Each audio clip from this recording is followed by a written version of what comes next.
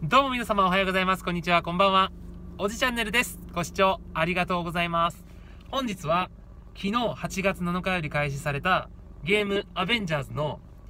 ベータテスト版を約3時間遊んだので感想を述べたいと思います。私はマーベル・シネマティック・ユニバースを全て鑑賞していてアベンジャーズが大好きなユーザーだという点を踏まえていただきたいなというふうに思うんですけれどもいやーちょっと予想はつくかもしれないんですけれども最高でした。いやー最高でした。約3時間しか遊んでないのでまあ全体的に遊んでみればちょっと感想は違ってくるという可能性はなきにしもあらずなんですけれどもいや私はもう確信しています。このゲームは神ゲーです。めちゃめちゃ楽しい。めちゃめちゃ楽しいです。なぜ私がそう思ったのかを、まあ、簡単に述べると、まあ、やっぱりあのスーパーヒーローたちを操作できるというところと、まあ、それだけに甘えていない制作陣の作り込みをとても感じるというところと、まあやっぱりその、あとは収集要素、探索要素っていうのがとても豊富そうだという点ですね。うん。まず1つ目に述べましたが、スーパーヒーローを操作できるという点なんですけれども、まあこの点は当然だといえば当然なんですけれども、あのマイティ・ソー、キャプテンアメリカ、アイアンマン、ブラック・ウィドウ、今回は、まあ、比較的新しいスーパーヒーロー、カマラ・カーンも登場し、そしてハルクも操作することができます。さらに、ホークアイも追加されるというふうに発表がございましたし、プレイステーションのプラットフォームでは、スパイダーマンもいずれ登場するということが明らかになっています。このスーパーヒーローがしっかりと差別化がされていて、うん。各キャラクターで攻撃ボタンがこのボタン、強攻撃はこのボタンっていう風にはもちろん決まっているんですけれども、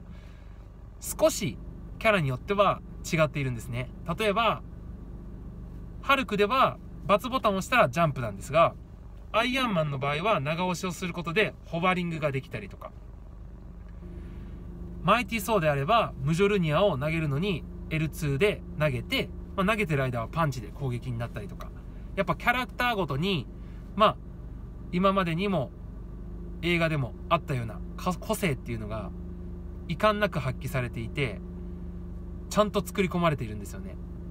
まあ、今ちょっと遊んだ時点での話なので、さらにこれが拡張されていくっていう風に思えば、さらに楽しみが増します。本当に楽しいです。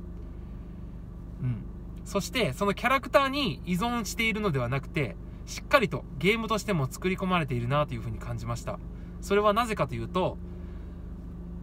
結構クエスト中に宝箱っていうのが落ちておりまして、まあ、その中にギアと呼ばれるモッドですね。まあ、防具、RPG で言うと防具、腕装備、防具、足装備みたいなものなんですけど、それが結構落ちてるんですよね。ハクスラ的な感じで、結構、パラメーターも違って、モッドごとに、まあ、例えば、弱攻撃と強攻撃があるんですが、弱攻撃を20%ダメージアップだとか、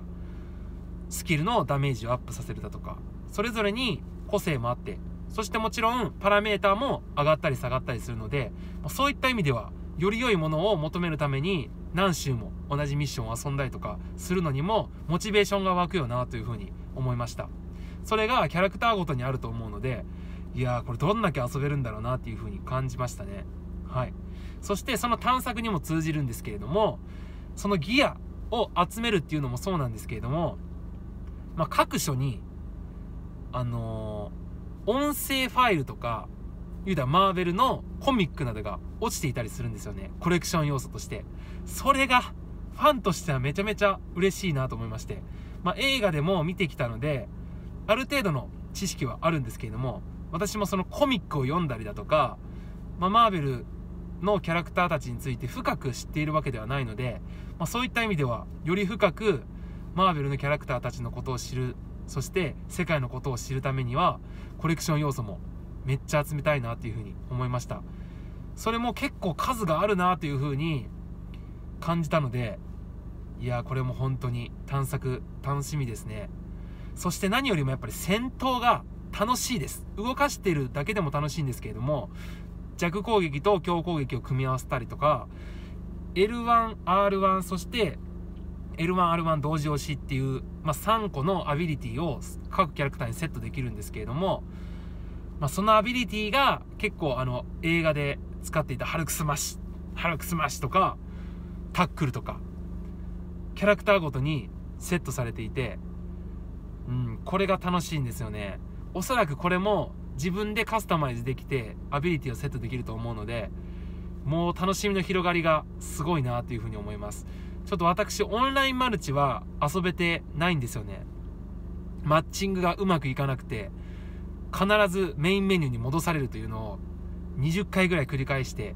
ちょっともう諦めました。ちょっとすみません。これは面目ないんですが絶対オンラインプレイムでも面白いだろうなというふうに思いましたね。本当に。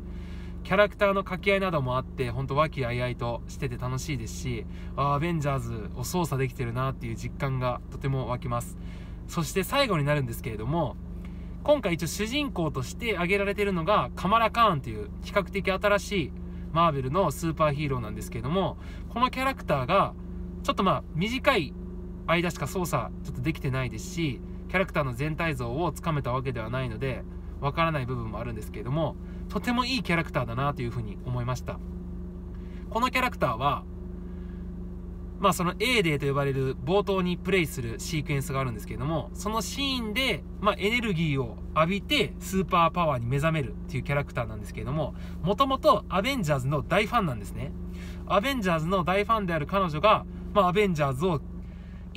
回解散してしまったアベンジャーズを再結集するために、まあ、動くっていうところですねアベンジャーズの、まあ、汚名を晴らしたいという多分意思を持って動くんだろうなというふうに思うので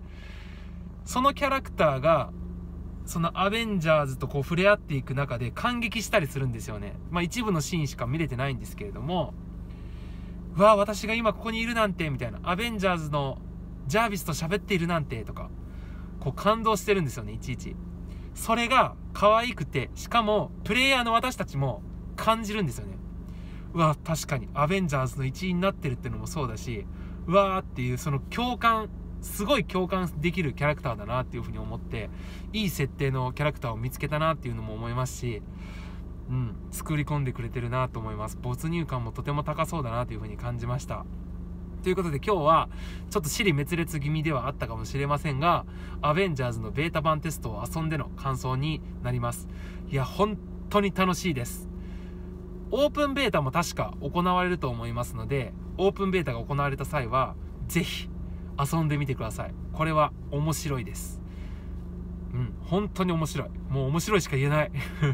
ということでみんなでアッセンブルしようぜ。ということで今日はアベンジャーズベータ版テストについて感想を述べさせていただきました。それでは皆様ご視聴ありがとうございました。じゃあね。